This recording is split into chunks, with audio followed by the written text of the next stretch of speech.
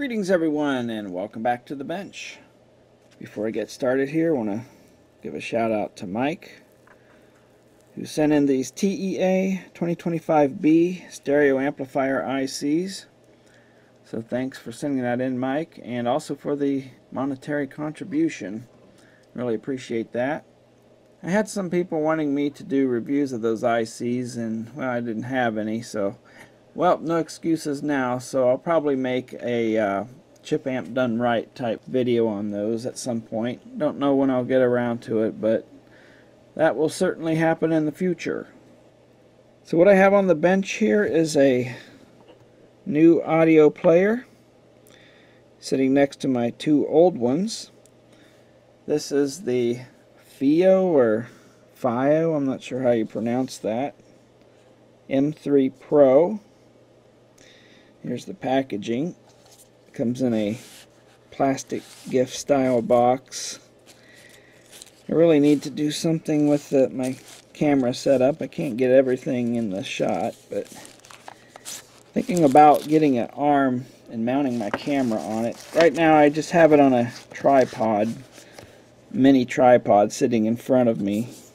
So yeah, that's the packaging. Here's the player. It's all touchscreen based, aluminum sides. It does have some buttons on the side, but right here, this is the main reason I bought that. It takes memory cards. And that's the problem with these old Sonys here. And of course it shows fingerprints. But yeah, these Sonys, even the new ones I was looking at, it's all internal memory. And it's the same ten, as it was 10 years ago when I got these. 8 gig here. I think there's a 16 gig model. There was a 16 gig model back then. The reason I have two of these, I bought one for my dad. He said he wanted a music player after he saw mine, but he never used it. It just ended up in a drawer of unused electronics. One day he was cleaning it out and gave me an old digital camera, a Windows CE palm top, and this, so I ended up with two of these players. Problem is, my music library is too big to fit on both of these. So sometimes if I want to put music on that's not already on there, I have to delete something from one of them and fit the new music on. Or if music's on one and not on the other, I have to, you know, switch them around, which is not a big deal, but mainly is that my entire music library does not fit on these. Well, with the card, you can buy a larger card, of course. They're not very expensive. And I can fit my entire music library on one player.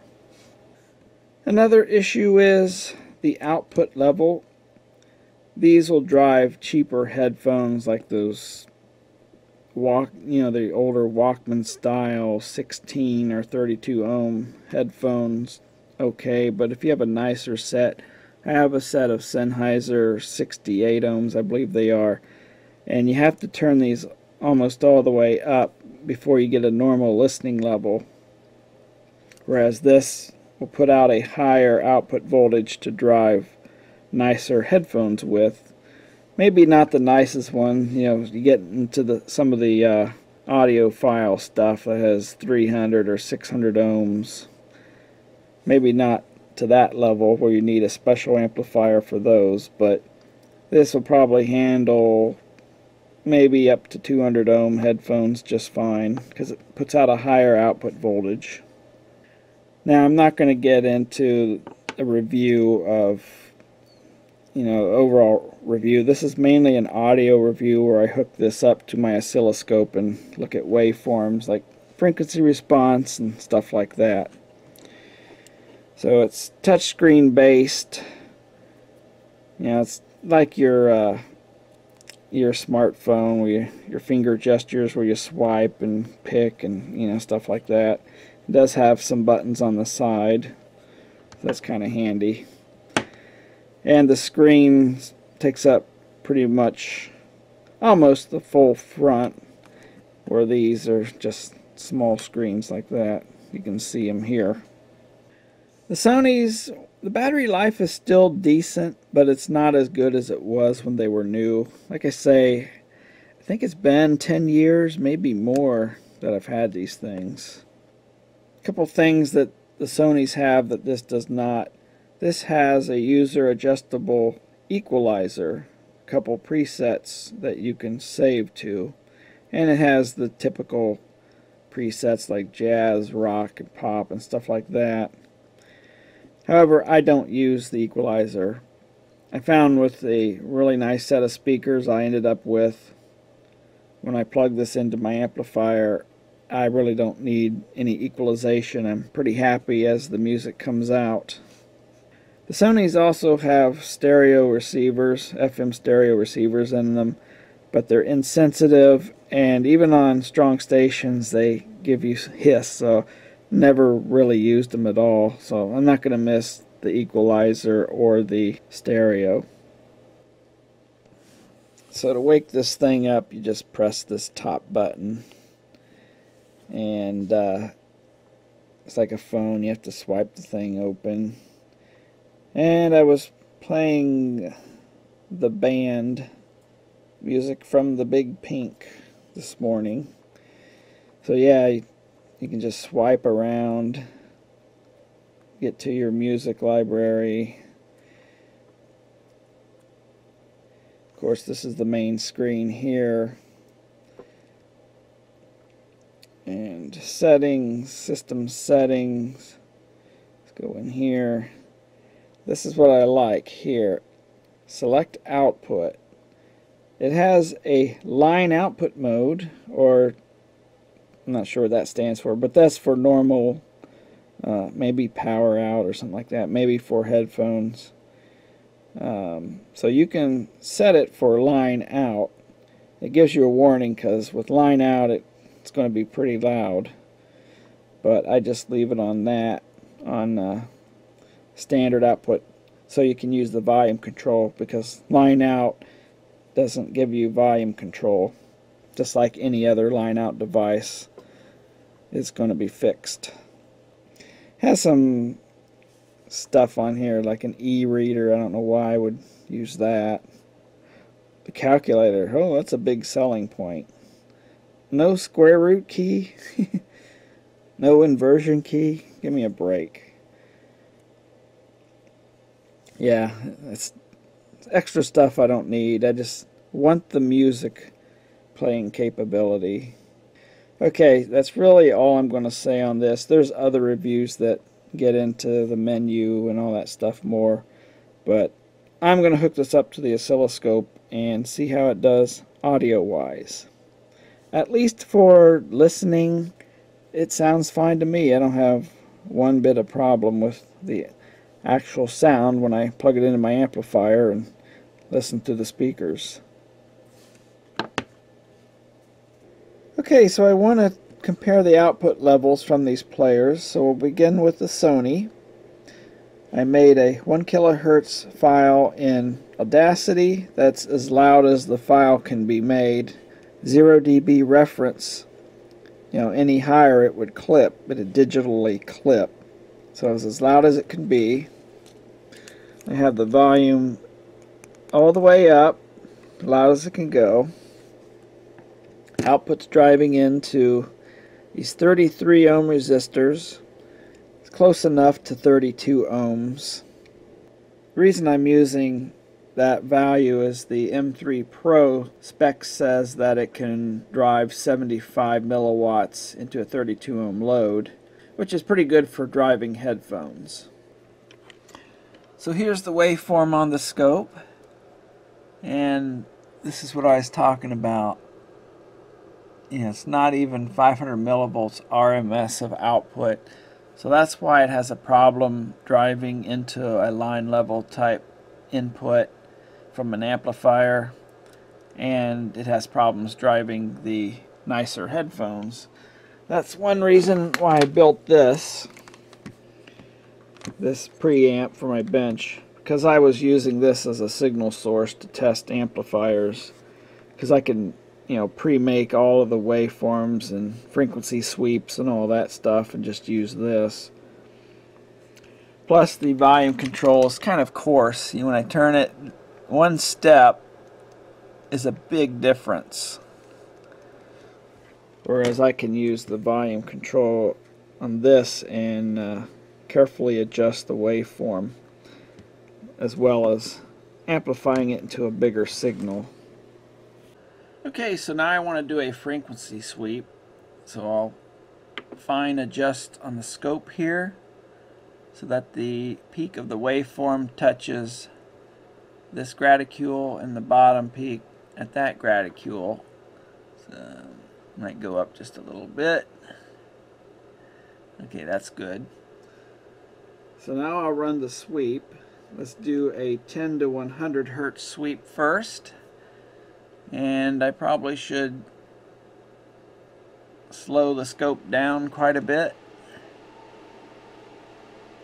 Let me reset that. Yeah, it's perfectly flat.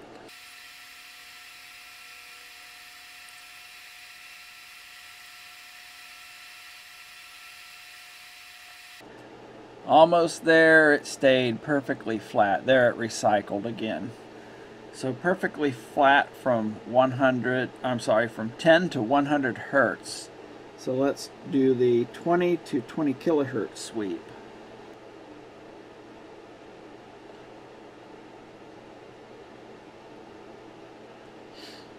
One thing I noticed with this player, and I always mentioned it when I was testing amplifiers, that it would slightly breathe up and down a bit going through the sweep. So you can see it's a little high here. And then it'll shrink down right to where it should be again.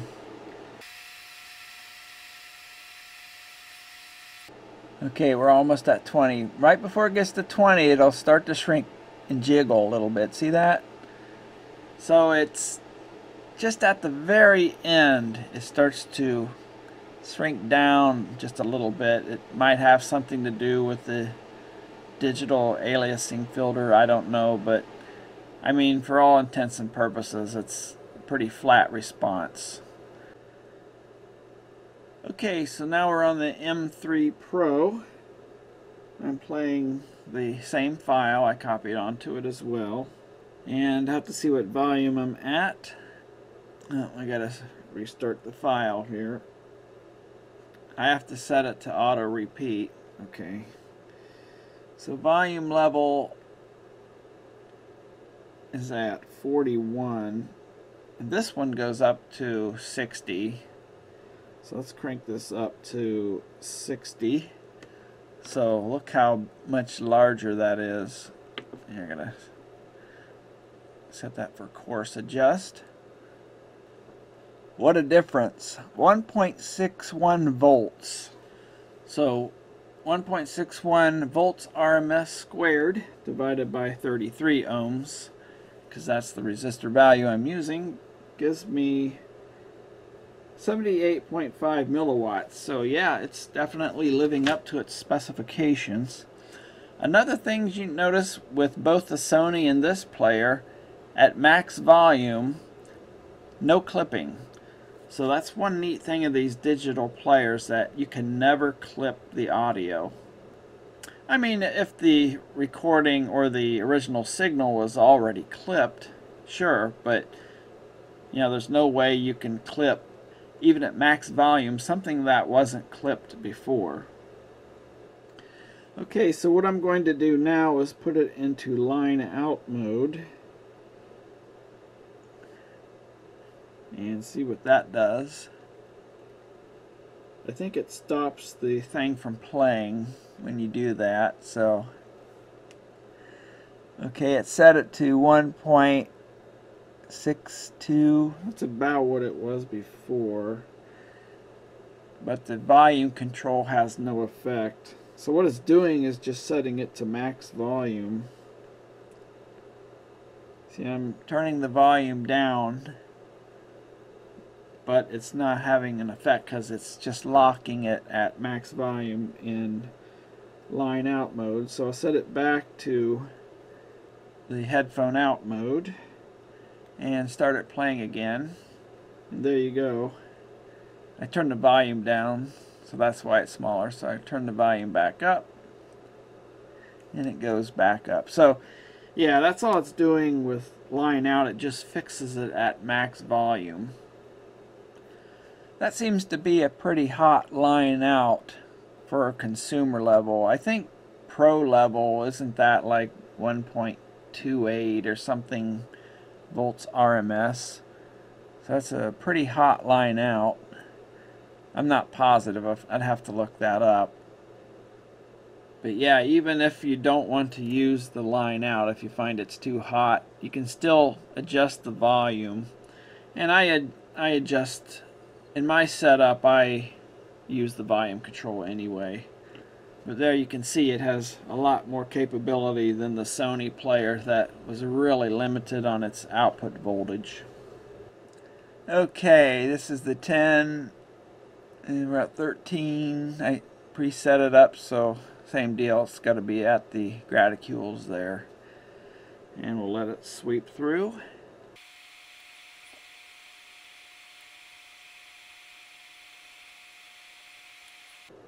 Okay, we're almost there. And it's looking pretty flat to me. Okay, the 20 to 20 kilohertz sweep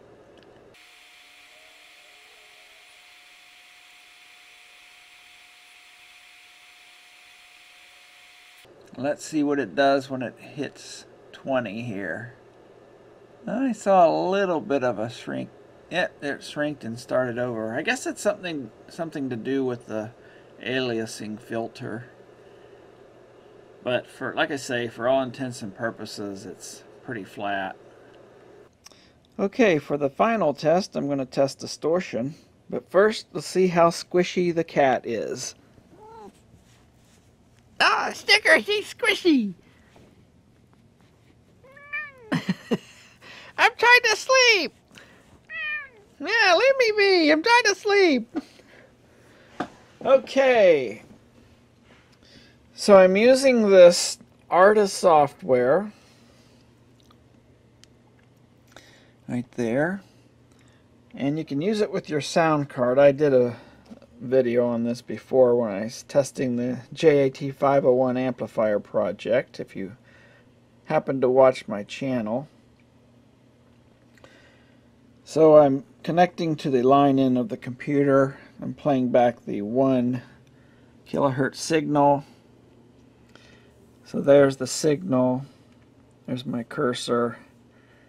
And uh, tiny little thing here, tiny little spike at 3000, but it's almost 100 dB down, so it's very low. One problem I had with this, if you remember from that other video, I was getting these non-harmonically related spikes. You know, if it was harmonically related, it'd be exactly in the center of these lines or on these grid lines. These are not. And it's either generated in the computer or it could be in the player, I guess, but I doubt it. Because when I tried to test higher frequencies, I was getting these spikes way up around 40 some kilohertz. It's just a limitation with the computer. I was unable to get higher frequencies.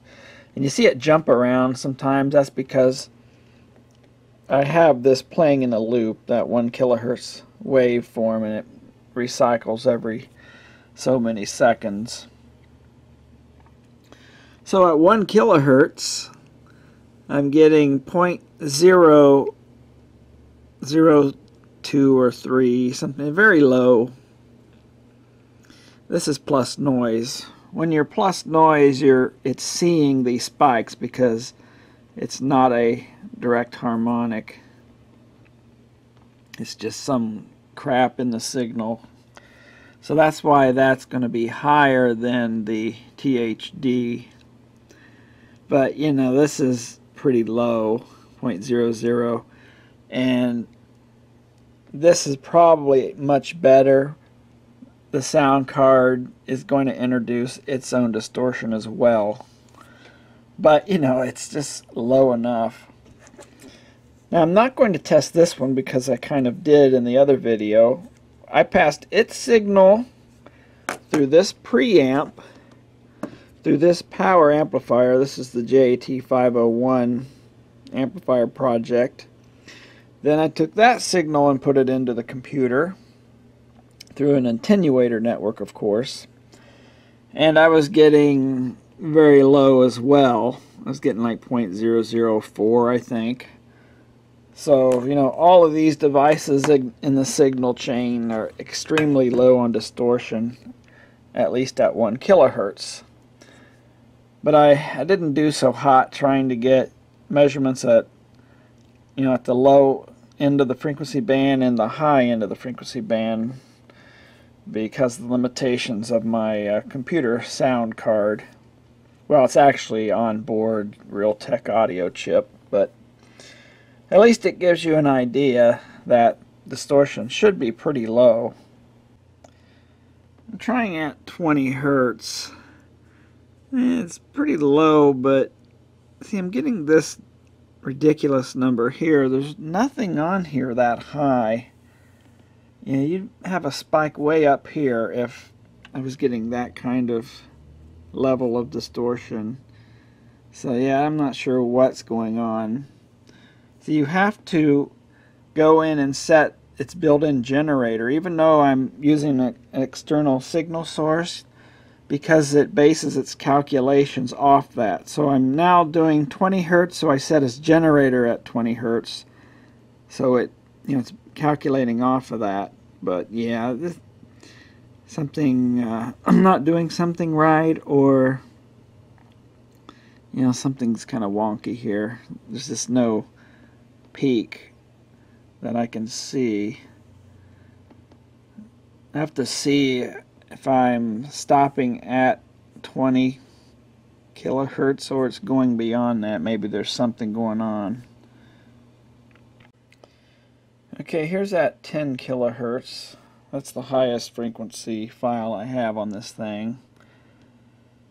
Of course, the uh, fundamental there and little spikes. I'm not seeing those oddball spikes, those non-harmonically related spikes I had before. So I'm not sure what's going on now. But you can see distortion is still pretty low. It's under 0.1 down around 0.01 kind of flipping around there. The noise is a bit higher. But if you look here, you know, this is all down around minus 100. And I can see these couple little spikes but again, I don't know if the sound card's producing that or this is. I would guess that it's the sound card. Without characterizing the sound card, I'm just kind of flying blind here. But at least I know that the distortion is low enough that you couldn't excuse me, you couldn't hear it. I mean, the second harmonic would be at 20k and the rest would be uh, supersonic or uh, like ultrasonic, I guess is what I'm trying to say. Just wish I had uh, better equipment for testing distortion. This is a lot better than the oscilloscope can do, by the way. But like I said, I need to characterize the, the computer's audio system before I can really trust these measurements. It wouldn't be any higher than these, but it could be a lot lower. That's what I'm saying. Well, there you go. The review of the FiiO or FiiO M3 Pro music player. I'm pretty happy with it. A couple little annoying things is, you know, sometimes you accidentally touch the screen and something else happens. It's just the way it is with touch screens. And uh, I believe that's a USB-C port all my cameras and other items use different types of connectors, the more common ones. So this is yet another port I have to deal with. But they do give you the cable, so we're okay there. It's fairly intuitive, easy to use, don't have to use any instructions. It has a lot of settings you can adjust. So, as far as audio quality, I'm happy with it, at least from what I can measure.